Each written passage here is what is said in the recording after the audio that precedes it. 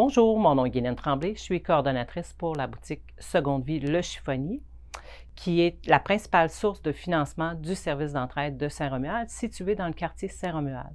Nos heures d'ouverture sont le mardi de 9h à midi, le jeudi de 15h à 19h. Actuellement, nous sommes en période de recrutement pour les bénévoles au niveau de nos services de Papa Roulante, accompagnement transport. Nous tenons à remercier sincèrement nos bénévoles actuellement et on vous souhaite un bon magasinage.